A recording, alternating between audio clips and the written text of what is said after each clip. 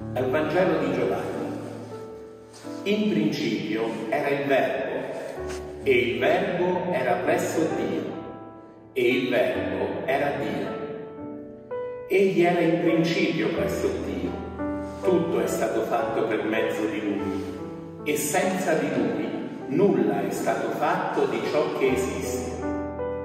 In Lui era la vita, e la vita era la luce degli uomini. La luce splende nelle tenebre e le tenebre non l'hanno vinta. Venne un uomo mandato da Dio e il suo nome era Giovanni.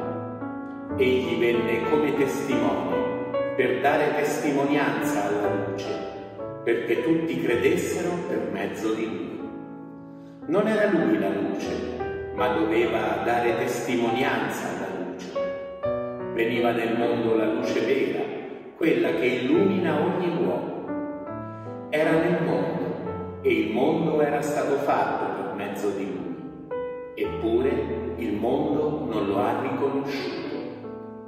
Venne fra i suoi e i suoi non l'hanno accolto. A quanti però lo hanno accolto ha dato potere di diventare figli di Dio, a quelli che credono nel suo nome, i quali non da sangue né da volere di carne, né da volere di uomo, ma da Dio sono stati generati. E il Verbo si fece carne e venne ad abitare in mezzo a noi. E noi abbiamo contemplato la sua gloria, gloria come del Figlio unigenito che viene dal Padre, pieno di grazia e di verità. Giovanni gli dà testimonianza e proclama era di lui che io dissi, colui che viene dopo di me è avanti a me, perché era prima di me. Dalla sua pienezza noi tutti abbiamo ricevuto grazia su grazia, perché la legge fu data per mezzo di Mosè, la grazia e la verità vennero per mezzo di Gesù Cristo. Dio nessuno lo ha mai visto figlio unigenito che è Dio ed è nel seno del Padre, è Lui che lo ha rivelato. Sorelle e fratelli carissimi, questa seconda domenica del tempo di Natale capita proprio il giorno dopo Capodanno. Quindi approfitto per fare a ciascuno di voi alle vostre famiglie, alle vostre comunità i migliori auguri per un sereno 2022. E in questa seconda domenica del tempo di Natale il Vangelo che la buona novella ci propone è lo stesso Vangelo che abbiamo ascoltato il giorno di Natale, il cosiddetto prologo di San Giovanni, i primi 18 versetti del Vangelo di San Giovanni che egli, come si usa fare quando si scrive un libro, ha scritto dopo aver scritto tutto quanto il Vangelo. In questo prologo c'è la sintesi di tutto il Vangelo, c'è tutto ciò che Giovanni, apostolo ed evangelista, aveva capito di Dio, di Gesù, del mistero del Dio fatto uomo. In questo prologo Dio si dice, si racconta e ci racconta, ci dice ciò che Lui è e ciò che noi siamo chiamati ad essere, proprio essendo venuti al mondo per mezzo di Lui. Perché come ci ha ricordato San Giovanni, di tutto ciò che esiste, nulla esiste al di fuori di Lui.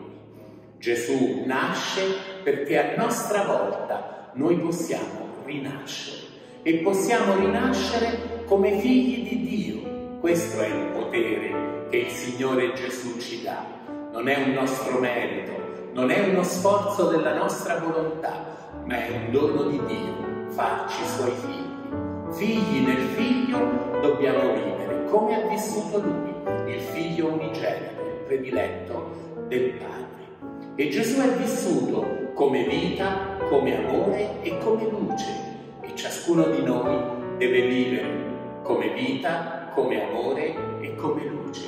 Questo disegna la nostra identità, questo disegna la nostra vocazione e la nostra missione. Ed è proprio per questo motivo che nel mondo di oggi, come nel mondo di sempre, ci sono migliaia di venditori di amore, di luce e di vita. Noi dobbiamo scegliere che tipo di amore vogliamo vivere, dobbiamo scegliere che tipo di vita vogliamo concretizzare nella nostra esistenza, che tipo di luce vogliamo essere. Il mondo ci presenta delle alternative alla proposta del Signore Gesù. Sta a noi decidere se le alternative del mondo sono sufficientemente valide oppure se le alternative del mondo non reggono la proposta del Signore Gesù che siamo chiamati ad incarnare.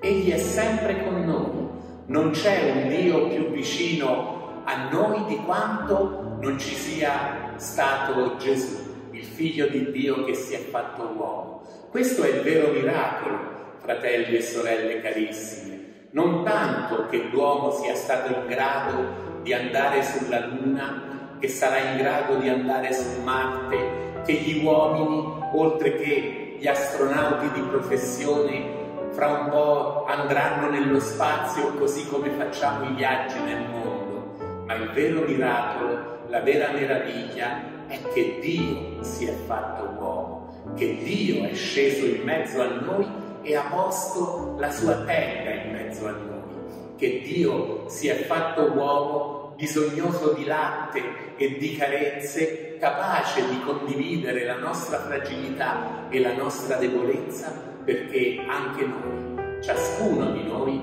possa essere figlio di Dio. Questo dono è stato dato a tutti.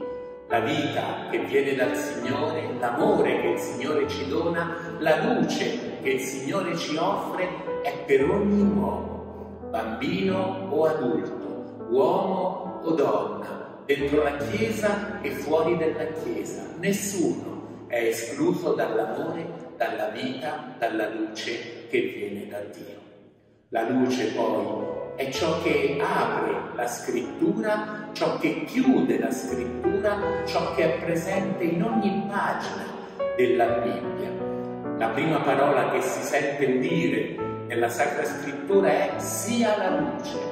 L'ultima parola che viene pronunciata nel libro dell'Apocalisse è che le tenebre non vinceranno la luce del Signore, gli uomini non avranno più bisogno né di luce di lampada né della luce del sole, perché la loro luce sarà il Signore, la luce di ogni uomo sarà l'agnello.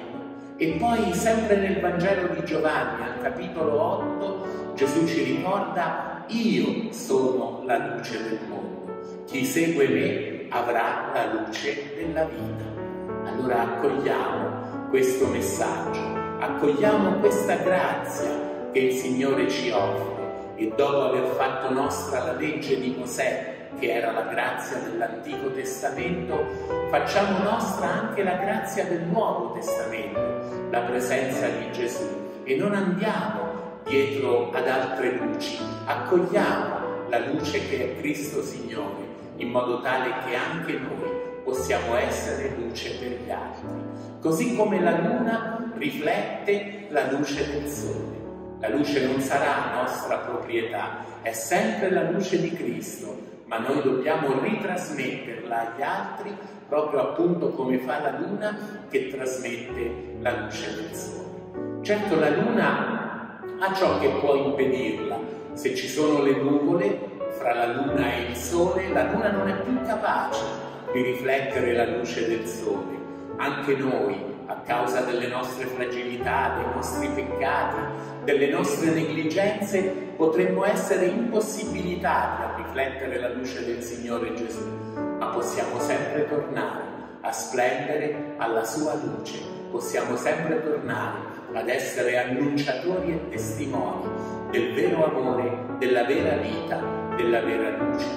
Dobbiamo ovviamente evitare di essere miopi, di essere presbiti e di essere astigmatici nel cuore, perché altrimenti non vedremo il Signore Gesù presente lontano da noi, come quando uno è miope, Non lo vedremo vicino a noi presbite e non lo vedremo eh, a fuoco come quando uno è astigmatico. Se invece ci lasciamo guidare dal Vangelo, ci lasciamo guidare dalla luce della parola, noi potremo davvero essere annunciatori e testimoni credibili del Verbo di Dio che si è fatto carne e ha posto la sua dimora in mezzo a noi. È il mio augurio per il nuovo anno appena iniziato, essere personalmente e tutti insieme come comunità ecclesiale annunciatori e testimoni della luce che viene dal Signore, della sua vita, del suo amore.